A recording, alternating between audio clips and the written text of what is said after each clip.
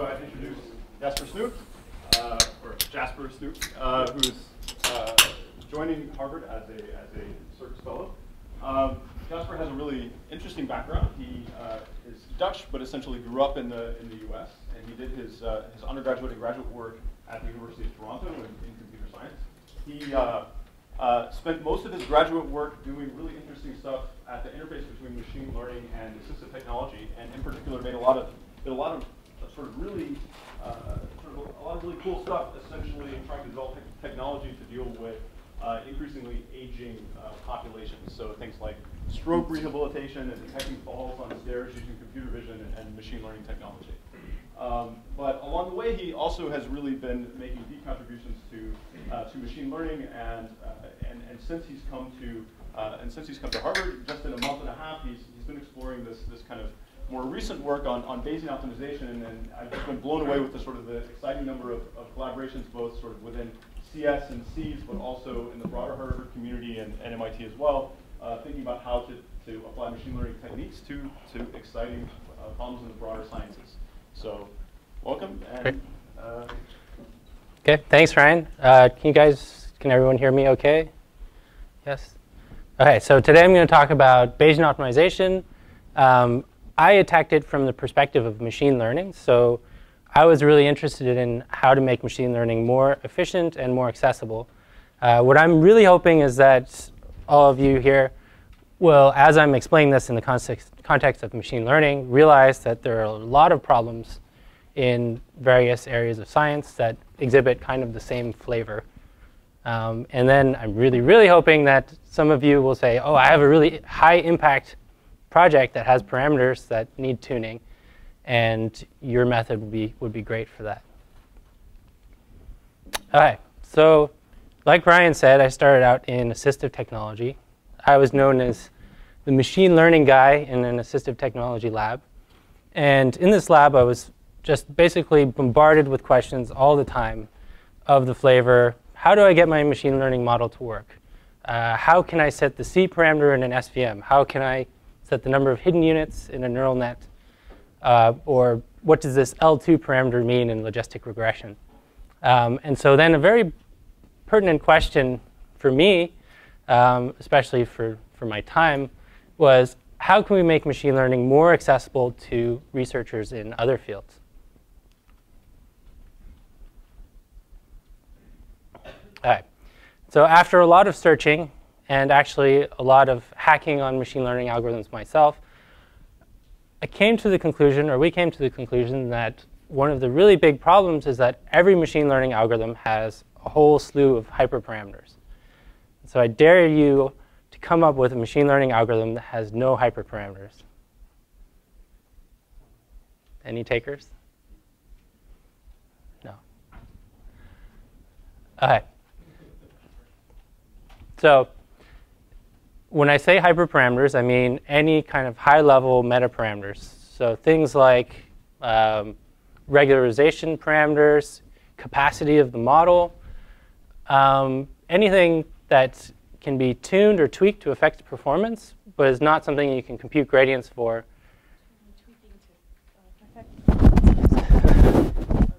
oh, sure. Okay, so anything you can kind of adjust to affect the performance, but people generally kind of sweep under the rug how they, how they do it.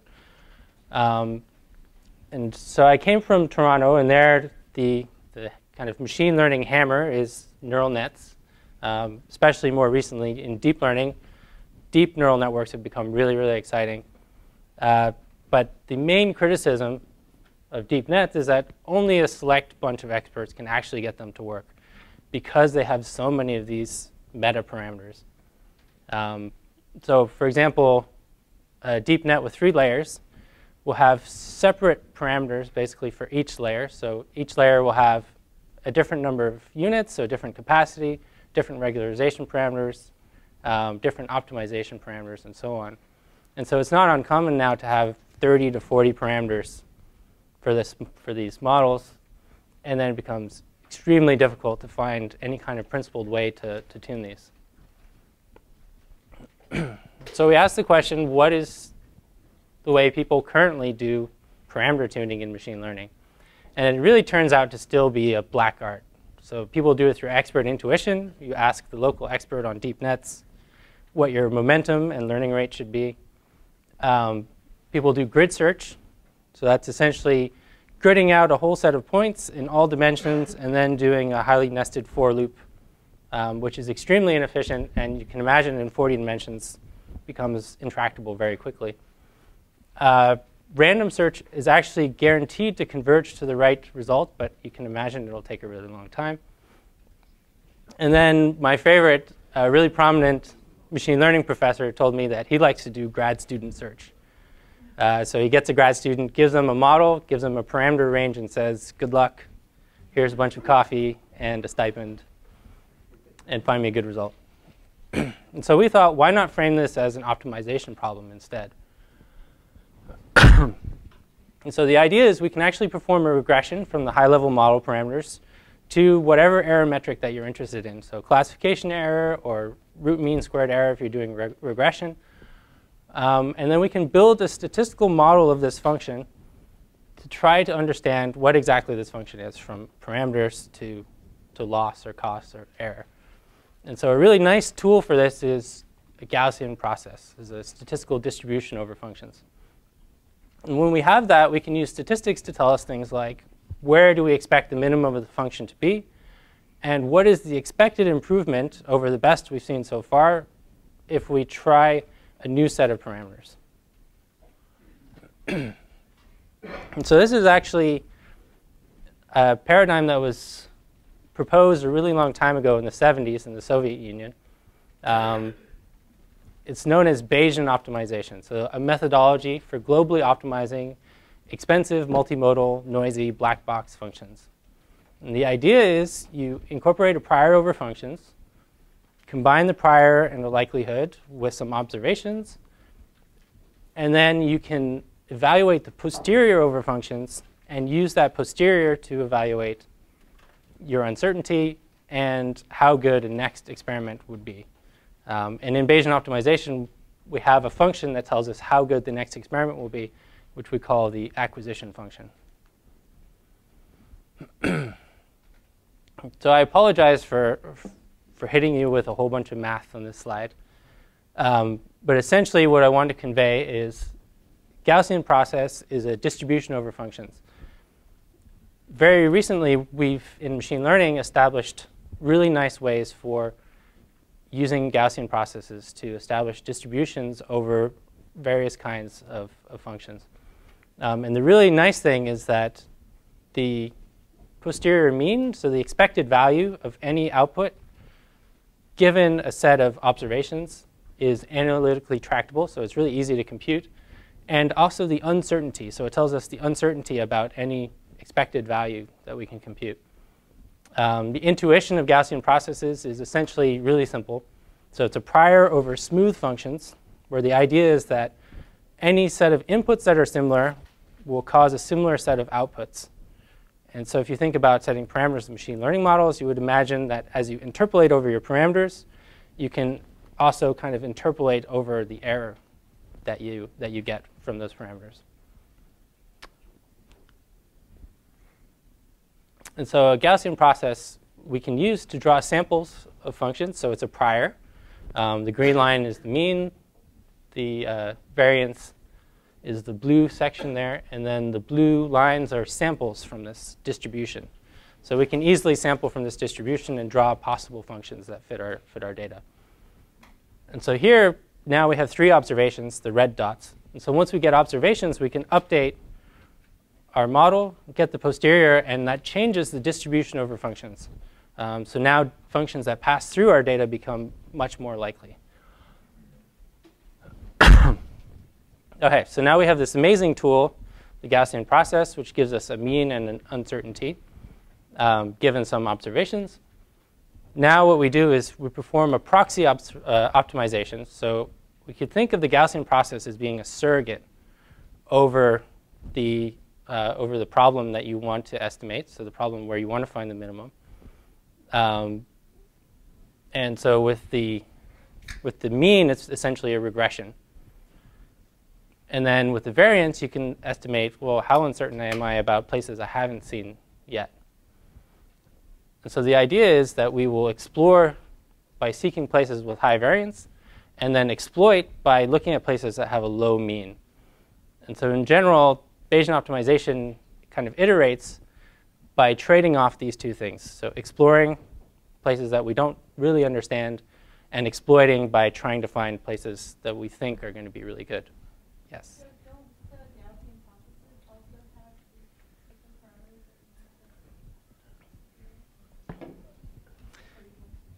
Technically, yes.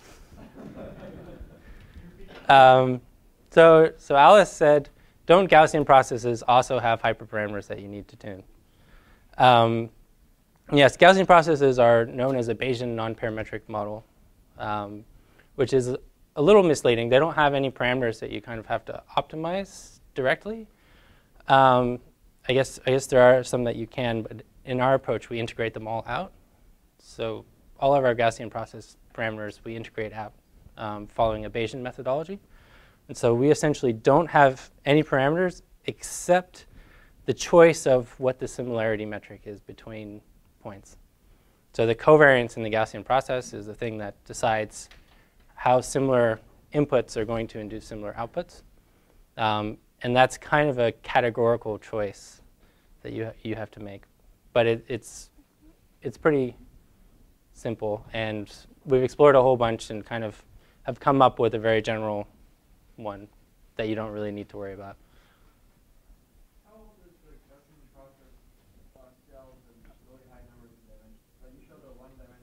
Oh yeah, sure. So,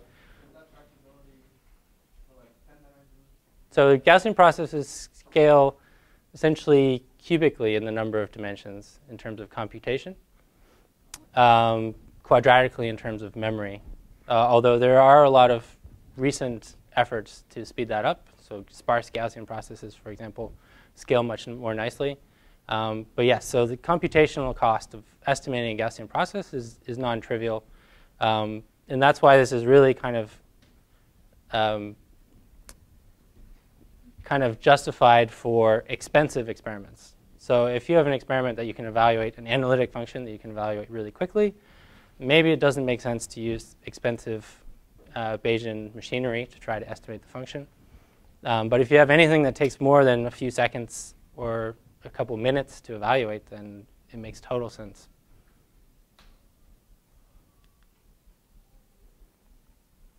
All right, so there's a really rich literature of acquisition functions. So the acquisition function is generally a heuristic function that we apply to our Gaussian process, uh, fit to our data, which tells us what, um, what experiment we should run next. So it gives us kind of a score of how good the next experiment will be. Um, and essentially, hopefully, trades off this exploration exploitation criteria. And so a really simple one you can imagine is probability of improvement. So if I pick a new experiment, I can estimate what is the probability that I'll do better by running an experiment um, with those inputs. Uh, and then one that I really like, the expected improvement, is how much can I expect to improve over the best I've seen so far by running an experiment at these new set of parameters. Um, there's a really interesting literature defining various kinds of acquisition functions, and there's actually a student, so Mike here is really interested in doing research into developing new ones um, for specific cases. but I won't dwell on that too much. So here I'll give you a little demo of how Bayesian optimization works. Um, so we've got two observations. Our predictive mean, so our expected value at every input is that black line. Our predictive variance, so our uncertainty over any point in the space is that blue, so this light blue uh, fill. And then this red dotted line is the function we're trying to minimize that we don't know a priori. Then in the bottom, I've plotted the expected improvement for every input for running an experiment at that point. And so basically, we iterate. So we run an experiment according to which one has the highest expected improvement, evaluate an experiment at that point, then fit that point to our Gaussian process, update our model, and then iteratively repeat this.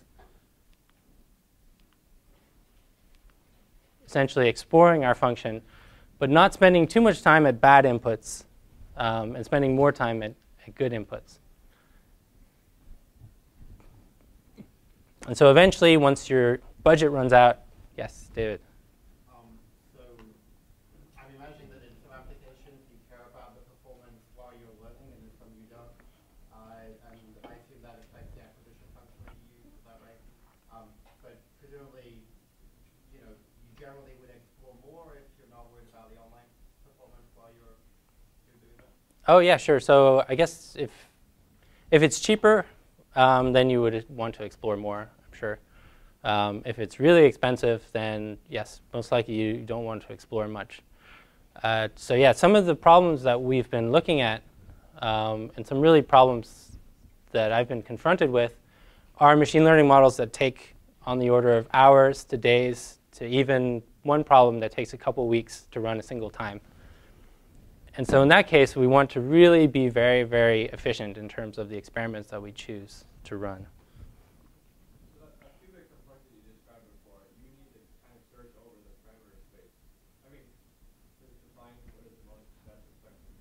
Group. Mhm. Yeah, so uh, so fitting the Gaussian process is the bottleneck. Um, and so each time you fit the Gaussian process or you evaluate something with it, it has this, this cubic time property. Uh, in practice, so far, I haven't had a problem with this. The reason being that, uh, so after you get to a couple thousand experiments, then the cubic complexity starts to really become a problem. Uh, so far, in terms of all the kind of expensive problems that I've come across, we've never been able to get to that many experiments.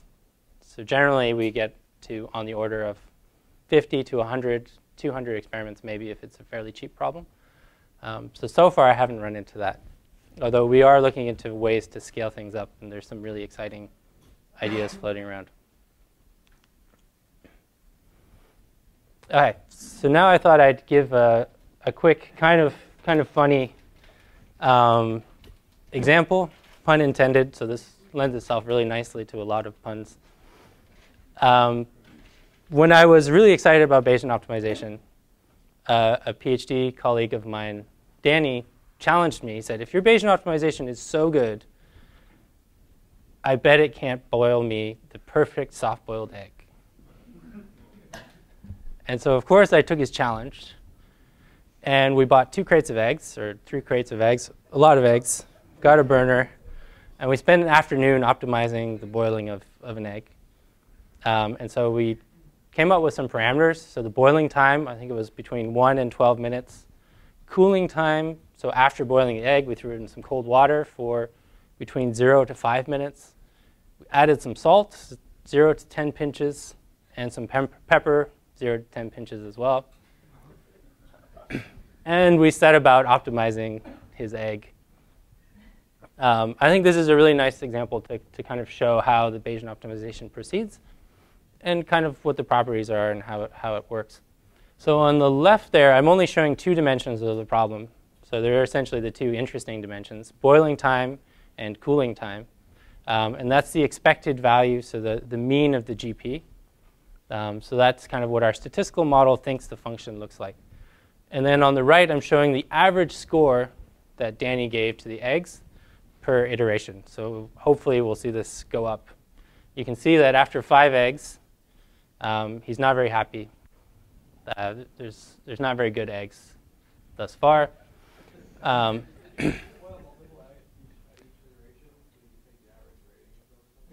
I, I, guess you could. I guess you could reduce noise by boiling multiple eggs. Um, yeah. Uh, so remember, the Bayesian optimization knows nothing about the function space, and so at the beginning it only explores. And so it explores generally at the boundaries first because that's where the highest uncertainty is. And so it proposed him some bad eggs. He actually refused to eat that, uh, that two-minute egg. It still gave it a bad score. Okay, so after another five iterations, it's done a lot more exploring and it's learning much more about what the function actually looks like. So you can see now around the six minute mark, there's a big dip. Um, so it thinks the good eggs are in that region, and it's clearly realized that uh, the, uh, the zero to two minute mark uh, is, not a, is not a good egg space.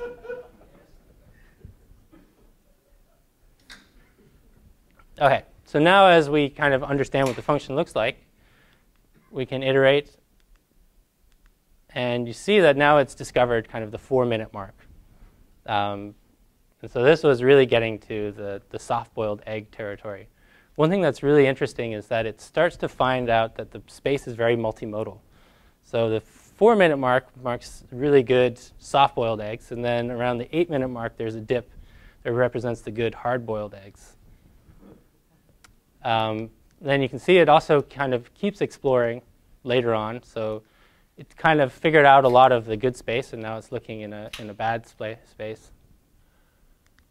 And then finally, after about 25 eggs, Danny got his ideal soft-boiled egg. So it was kind that's hard on the outside, and then when you cut it, the yolk just kind of kind of flows out. And so he was really happy about that. Um, although this, this example is, is funny, I think it's a really good example to kind of show what's, what's going on in the Bayesian optimization. And what's really interesting is that through a statistical model of the function, we can learn a lot more about what our space is actually like. So we learned that the cooling time is essentially kind of useless. Um, so it doesn't make sense to cool the egg. We thought it would harden the yolk a bit more, but that didn't really work. Um, and so it's learned that as you cool it, the egg gets a little bit worse. Um, but you can see that the sensitivity to cooling time is really, is really low. It essentially doesn't change the manifold very much. Whereas the sensitivity to boiling time is super high. And so a really nice thing that you get out of the Gaussian process as well is that as you're doing this, you're doing a sensitivity analysis. And so you can figure out what is your sensitivity to the various parameters that you're optimizing. Okay, so in going back to machine learning, yes? Seems like you have a, you have a very noisy function evaluation here. You're asking someone to rate an egg, which is not, doesn't follow that smooth property you described earlier. So is that, how well does it deal with that? That's a really good question. So yes, it's totally noisy. Um, and so we have a noise term in our Gaussian process. And so we try to estimate what is the, what is the measurement noise. Um, obviously, Danny is not a perfectly smooth function in terms of his tastes. Uh, so yeah, it's noisy, but the Gaussian process can account for, for some measurement noise. Yeah. All right, so we set out to do this for machine learning algorithms. At the last uh, NIPS conference, so a major machine learning conference, we published a paper where we showed um, that you could do really well tuning the hyperparameters of machine learning algorithms um, following Bayesian optimization and we really spent a lot of time trying really hard to get this to work well for machine learning problems. Um, so one thing we did was integrate out the, all the parameters in the Gaussian process, um, really thought carefully about what the appropriate measure was, so similarity metric between ex experiments in machine learning, and then had to come up with a methodology for how do you actually optimize the expected improvement uh, in the Gaussian process. Uh, and then there's a lot of kind of design decisions there as well a neat thing that we thought about was accounting for additional cost.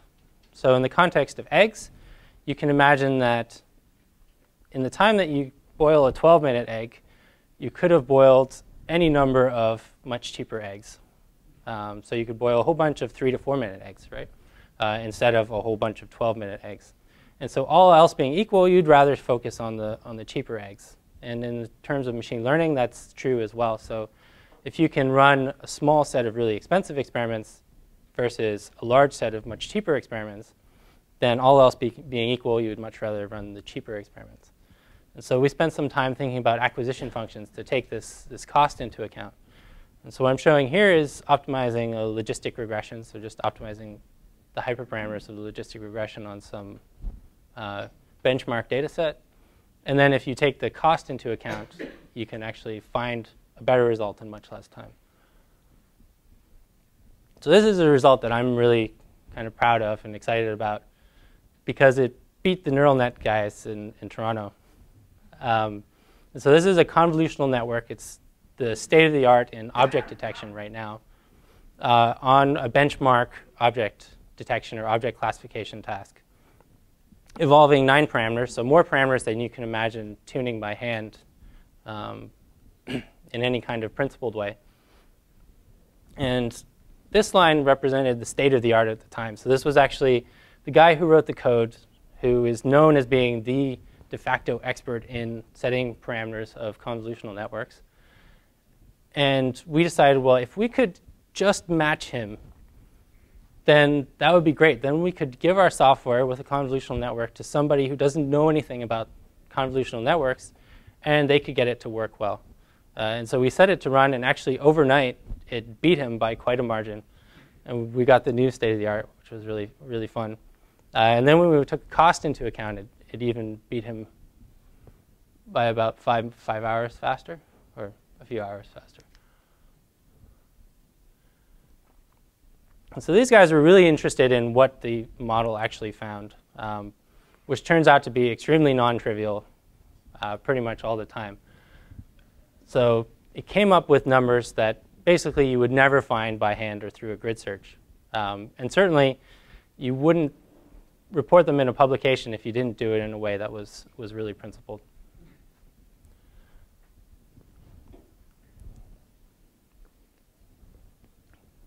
All right, so now going kind of back to, yes?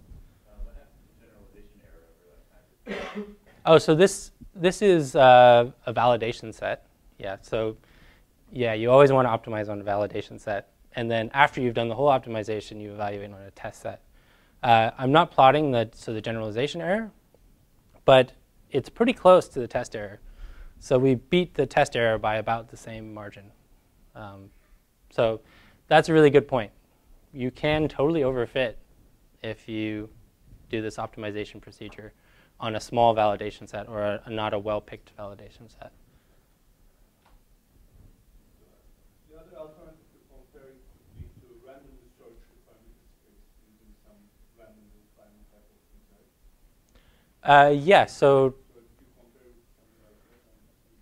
I actually compared to, yes, I compared to random search on this problem because that was something that was proposed uh, around that time. I didn't plot it on this graph actually because it messed up the scale. So it was, it was way up top. And so this, the scale looked so bad that you couldn't actually see the difference between those three other lines. Um, so yeah, I, I did random search. Um, some people still do random search, but I don't think it's a very principled approach.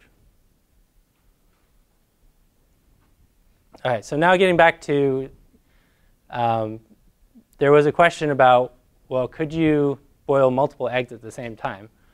Um, yes, so if you're boiling eggs, then certainly you almost always have multiple burners. So you may have four burners or six burners. Ideally, as you're boiling eggs, you would run maybe four eggs at the same time, or two eggs at the same time. So we thought about how do you parallelize Bayesian optimization? And in the context of machine learning, the analogy is that you have multiple cores or multiple processors, and you would like to run experiments in parallel. And so we worked out a way to essentially integrate over all currently running experiments to pick the next best experiment to run. So for all likely values, uh, all likely um, results of the currently running experiments, what is the next best experiment to run after that?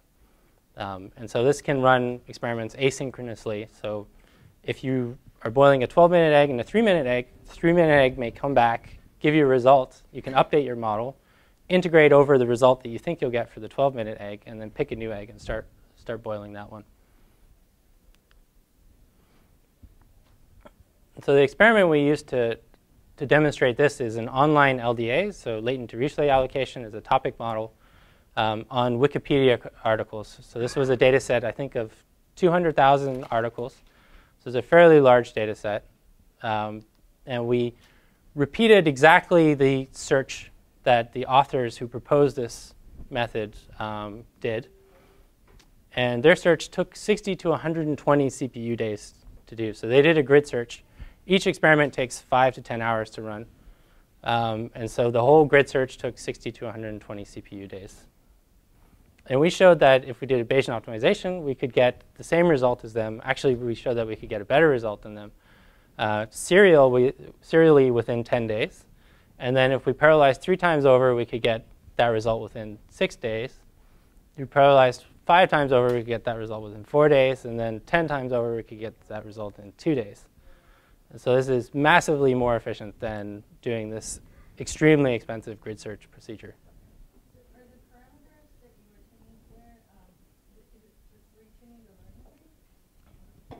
Uh, yes, so two parameters pertain, pertaining to the, the learning rate and one pertaining to the batch size, I believe.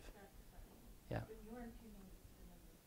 No, no. So that's, that's what they did in their paper, and so we decided not to, we wanted to be able to compare directly to what they were doing. And you were, the optimization was for, um, um, the objective that you were tuning, I guess, was perplexity? Yeah, yeah, so left out perplexity. Do you just take the log of certain parameters and make the noise, like, the error, like, more normal or something like that? And like, how do you tell someone to use that? Yeah, so that's a really good point. Um, so Gaussian processes generally are defined on stationary functions. And so things that have, for example, an exponential decay, which occur very, very often, are non-stationary. And so for a long time, we suggested that people would log transform their data. Um, so optimize in log space. We actually have just submitted a paper where we automatically learn what the transformation should be. Uh, I won't actually talk about that uh, in, in this talk. But yeah, so now we're, we're automatically learning, should you be doing a log transform or should you be doing uh, an exponential transform? Um, which is really actually really interesting for kind of post hoc analysis of, of the parameters as well.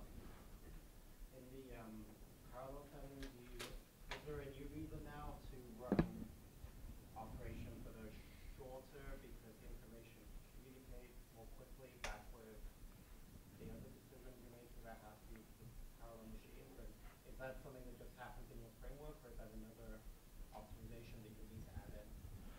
Um, so that's kind of just happening in our framework. Uh, but, but yeah, so I think there's a lot of really interesting work still to be done. So yeah, when you're doing things in parallel, then maybe you want to be more intelligent about what set of experiments that you're running concurrently. Uh, yes, so you could do the grid search in parallel. That's why I said CPU days. Um, it takes a lot of computational power to do this grid search, but you could do it in parallel.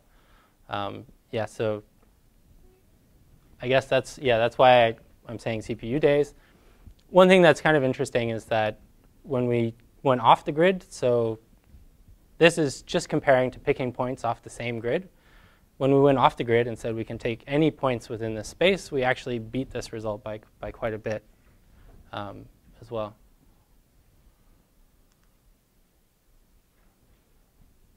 Okay. So then there's some extra benefits to doing this Bayesian optimization procedure. Um, of course, with a statistical model, you can really start to understand your space. You can understand dependencies between parameters. You get a sen sensitivity analysis more or less for free.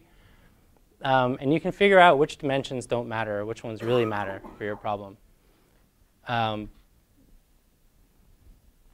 one thing that I really believe in is comparing problems on an even baseline. So in terms of machine learning, what happens really often is people will try a lot harder setting the parameters on their problem than setting the parameters on some baseline that they're comparing against.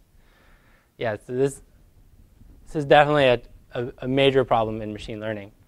And so if you do a Bayesian optimization on both problems, now you've evened the playing field um, and you get a much fairer comparison. Uh, the research is totally reproducible. So if you just report one result and say, I got that result by adjusting things by hand, uh, it's totally not reproducible. But if you say, I, did, I followed some principled methodology for optimizing these parameters, I can tell you the sensitivity to each dimension and so on and so forth. Uh, it leads to a lot more reproducible research. And then, of course, the reason for doing this in the first place we can hopefully make machine learning much more accessible to people in other fields. All right, so I'll briefly plug, um, there's a couple of researchers doing similar things, so following maybe less Bayesian strategies, but really interesting strategies for setting parameters of machine learning models. And the three of us are really involved in a Bayesian optimization workshop that I'm organizing at uh, Neural Information Processing Systems uh, this winter. And then we're proposing a workshop where we're going to compete. So we're going to set up a competition for the automatic tuning of hyperparameters of machine learning models. And so this is kind of the end of the first part of the talk. Uh, I'd really like to still show you some, some example applications that I've worked on and that we're working on. Um, but this was work with Ryan and Hugo Larochelle in, uh, in Sherbrooke. The really nice error bars that we got were due to Amazon, uh, who gave us a really nice grant for computing. And all of our code is online at BayesianOptimization.com.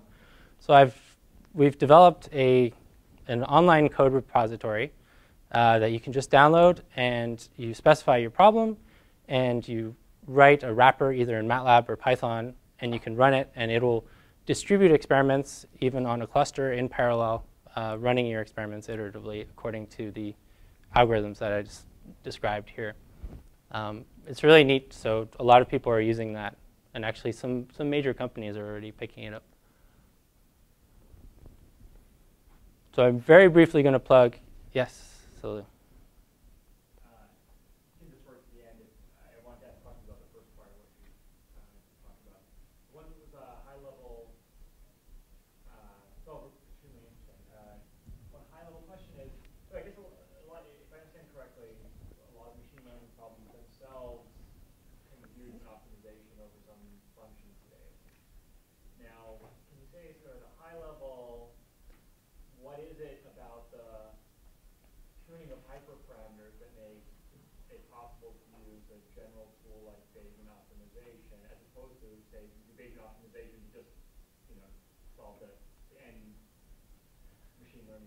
Sylvia. Uh, so you mean you could consider using Bayesian optimization to optimize, for example, the weights in a in a regression or in a neural net or or something like that. Yeah, so I've I've tried that.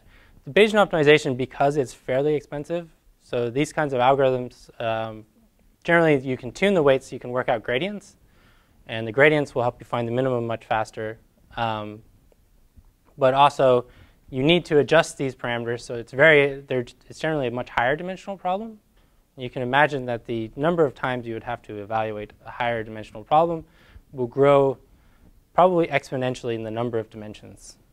Um, and so in terms of, for example, adjusting the parameters of a deep neural net, which now these things have up to a million parameters or more, um, you would need something exponential in a million to figure out what each dimension does um, unless you did something really interesting to, to lower the dimensionality. Uh, and so the answer is essentially that this is still a little bit slow for those problems. Um, and then a kind of a gradient-based solver or gradient-based optimizer would find a, a, better result faster. Um, hyperparameters are really interesting because it's a super noisy problem, so it's generally non-deterministic. Um, and you don't get gradients, so you, you generally don't know exactly how you should tune them. It's basically always multimodal, um, so it's certainly never, almost never a convex optimization problem. Um, and so that's what makes this kind of a really nice tool for, for that space. All right, so I'm going to give a really quick plug for our latest paper called Multitask Bayesian Optimization, where the idea is that if you're doing Bayesian optimization on multiple related tasks, then ideally you would like to share information between those tasks. Um, and for example, if you've already run a Bayesian optimization on one problem, so maybe I've boiled eggs for Danny, and now I have another friend who wants to get the optimal soft-boiled egg, but he has slightly different tastes, although the error manifold is going to be super related. Um, and so this work is all about how can we transfer knowledge from one Bayesian optimization to another. And a really neat kind of example is big data. So what if you can query a really cheap problem, so a problem maybe with a much smaller data set, to kind of bootstrap your really large data problem. So the same algorithm, maybe you would figure out what the parameter space is like on a small data set and use that to transfer over to a, a larger data set. And so we showed that you can actually dynamically query the smaller data set uh, to explore the larger data set and get the same result much faster. Okay, so now I'll briefly talk about uh, applications. Um, so I've got a whole set, but I think I'll skip over a bunch.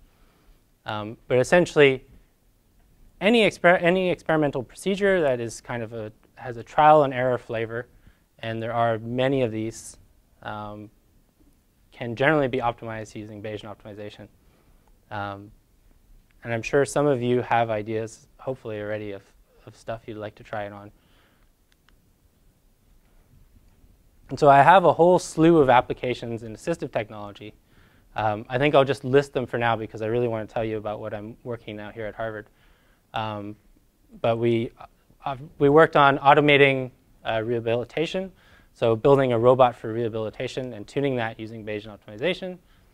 Um, we tuned a classifier for cancer detection, cancer classification. Uh, this is really exciting, so a fall detection system we had a camera sitting on a roof, it looks down at people as they walk around in a house, and tries to detect if they've fallen down. And then there's a neat speech recognition system that starts a dialogue with them when, uh, when it thinks that they've fallen down. Um, the speech recognition system is very complicated, so it is, involves a lot of various levels of computer vision. So there's a background subtraction, optical flow computation. Um, there are camera parameters that you need to set. And then at the end of the day, everything's stuck into a classifier and it tries to classify falling from not falling. Um, and so to tune all of the parameters of all these various things, we used the Bayesian optimization procedure, and it actually worked amazingly well, um, which was really neat. It did something that was totally counterintuitive, which was kind of fun. It basically turned the, the background subtraction, so how quickly the, a, an object walking around blends into the background, turned that into a, a fall detector.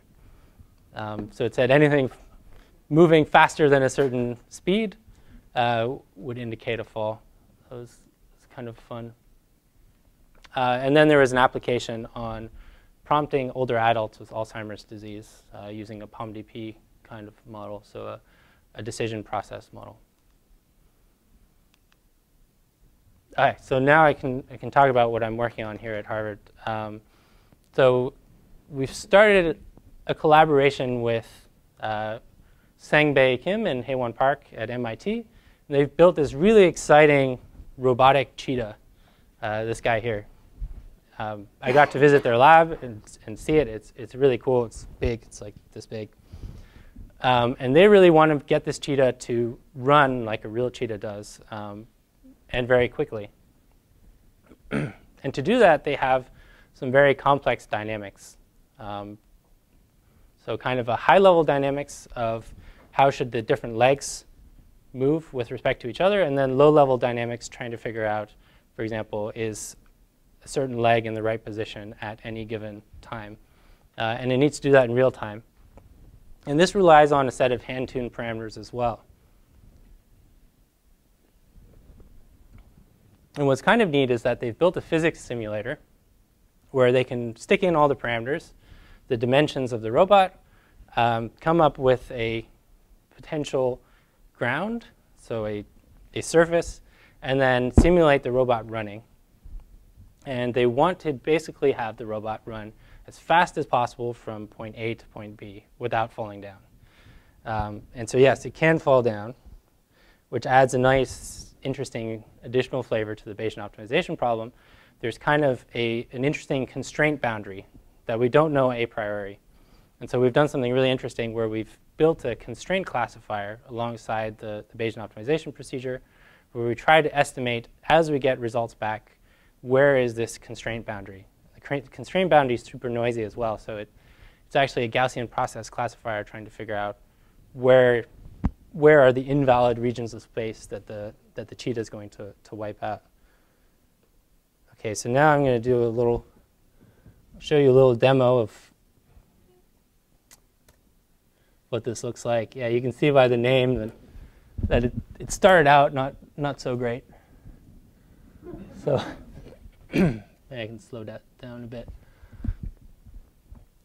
So the simulator is a lot more more complex than this. This is just a, a simple video that we get out of it. Um, but you can see choosing the wrong parameters for this cheetah leads to some leads to some bad but hilarious results. Um, kind of frustrating in the beginning. I've got a lot of these these wipeout videos.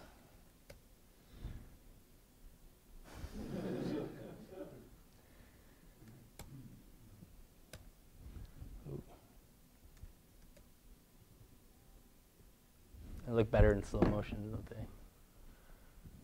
they? and so I set the Bayesian optimization to essentially optimize this cheetah. Um,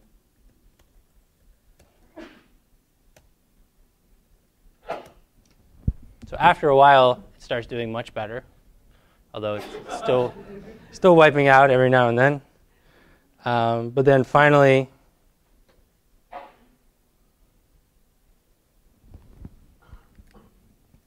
I guess you can infer what, what happens here. Um, but then finally, essentially, I, I ran the optimization for a night, came back the next day, and this is what it came up with, which is super exciting. Um, the animation is a little creepy. Uh, the cheetah has no head uh, and no tail, but yet it manages to run uh, essentially for forever, um, which is pretty exciting. Yeah, yeah. So I. there were essentially two phases to this problem. The first involved a, a communication error between myself and, and Haewon and Sangbae, where they told me that the, the ground deviation was in centimeters uh, when it was in meters. Oh no, the other way around. So they told me it was in centimeters or in meters, and I thought it was in centimeters. And so I had crazy ground first. I was trying to optimize that, and then they said, that's impossible. There's no way you can get that to work. Um, and so then we got to something more sane. Uh, although this one is the, so this one is the same ground parameters as, uh, as the one that, that doesn't fail.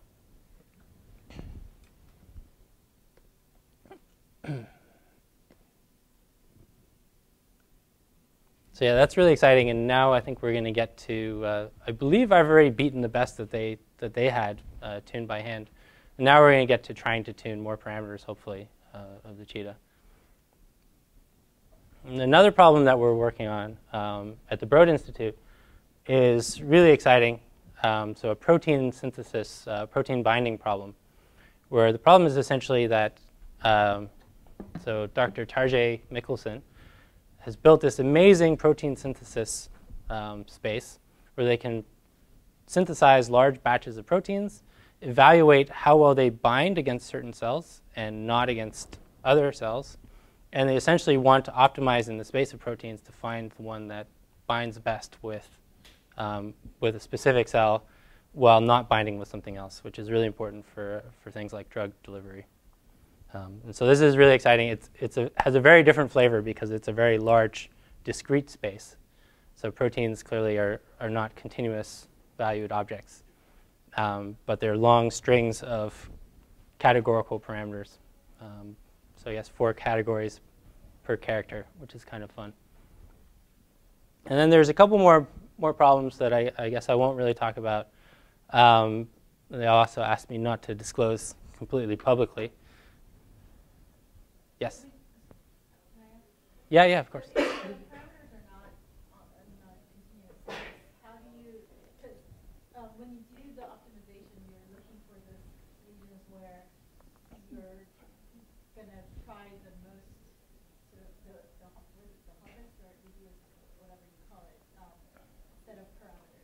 Mm-hmm. In, in protein space. Yeah, yeah. Yeah, so, so that's really tricky. Um, we essentially have to optimize in protein space, um, which can be a, a, big, maybe combinatorial optimization. Uh, that, that project is still very much in early days. So at the moment, it's a really interesting experimental design problem where we haven't started it yet, but we're working on proposing what the best first, first batch is to run. Um, and so what's really interesting is that this, this machinery can evaluate, uh, synthesize and evaluate tens of thousands of proteins in parallel. Um, and so our first, uh, although it takes about 10 days, I think, to do this. So our, our first thing is really to propose a really good set to start with. And so we've been thinking a lot about what is the best set of, of proteins to evaluate first, such that it will kind of bootstrap our, our optimization procedure. Um, but then, yes, how do you optimize a protein? Well, you could do, for example, an evolutionary type algorithm, so you adjust individual characters, um, or something more intelligent. We're thinking of trying to project the proteins into some kind of continuous space and then interpolating over that space but it's super interesting. Yeah, we don't have we don't have the answer entirely yet. Um, all right, so it's the multitask work was with Kevin Swersky. He's a student in Toronto. Um, I have to thank Google because they funded me for a while while I was doing this work. And then, yes, all the code is online. Uh, you should definitely check it out. Uh, and I am in MD 110, which is just down the hall right there. Uh, so if you have questions or you have a really exciting problem that you think kind of fits this, then definitely stop by. Uh, we have a dartboard. Um, if you can beat me at darts, which will not be very difficult, then I will gladly try to optimize your problem.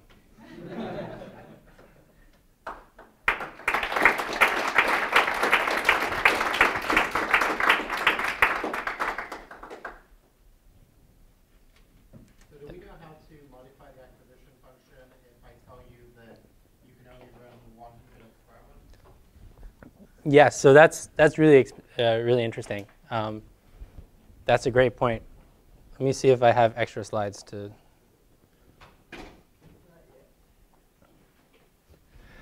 No, I don't have the extra slides. So in, in my thesis, I looked at uh, the case where you have a bounded horizon or you have some bounded cost.